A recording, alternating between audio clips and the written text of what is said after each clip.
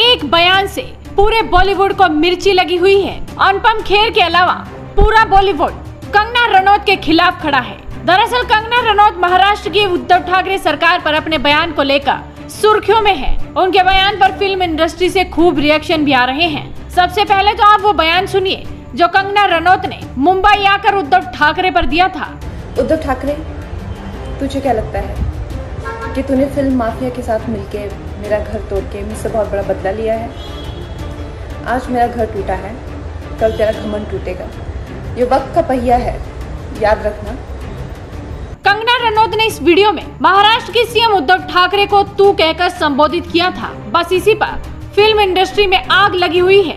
तरह तरह के रिएक्शन आ रहे हैं। और अब मशहूर ज्वेलरी डिज़ाइनर और संजय खान की बेटी फराह खान अली ने भी ट्वीट किया, जो सोशल मीडिया पर इतना वायरल हुआ कि जनता ने सामने आकर उसी की क्लास लगा दी। फराह खान अली ने अपने ट्वीट में कंगना रनौत पर जमकर निशाना साधा और उनके बयान पर नाराज़गी जताई थी। उन्होंने ट्वीट कर लिखा था कि उनके पास महाराष्ट्र के सीएम को संबोधित करने की शालीनता नहीं है। वो उन्हें तुझे कैसे कह सकती है? वो महाराष्ट्र के लोगों का प्रतिनिधित्व करते हैं और सम्मान के हकदार हैं। वो अपना क्लास दिखा रही है। आप नहीं। तुझे क्या लगता है? मेरे पास कुछ नेताओं के खिलाफ सौ शिकायतें हो सकती है, लेकिन मैंने कभी भी किसी को व्यक्तिगत रूप से अपमान के साथ संबोधित नहीं किया है और मैं कभी नहीं करूँगी, क्योंकि मुझे निर्वाचित प्रतिनिधियों का सम्मान करना सिखाया गया है। भले ही मैं उनकी राजनीति से सहमत नहीं हूँ। तो आप इनके ट्वीट से अंदाज़ा लगा सकते हैं। कि वो उद्धव ठाकरे को तू कहने से कितना चिड़े हुए हैं। लेकिन कंगना रनौत ने उद्धव ठाकरे सरकार पर तो निशाना साधा ही था। इसके अलावा सोनिया गांधी को भी नहीं बख्शा। कंगना रनौत ने ट्वीट कर सोनिया गांधी को भी आड़े हाथों लिया था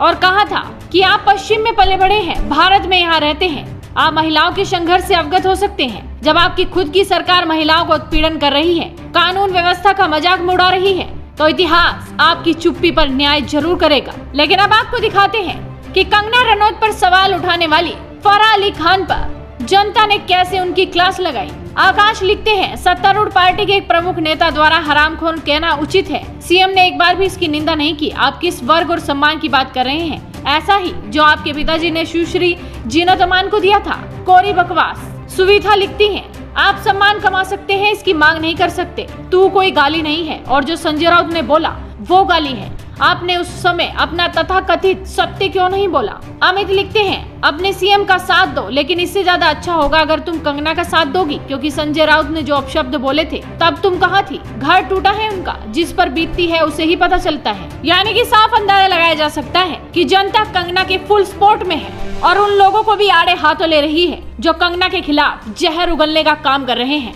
ऐसे में आप भी इस खबर पर अपनी राय रखिए, साथ ही आपके अपने चैनल हेडलाइंस इंडिया को सब्सक्राइब कीजिए।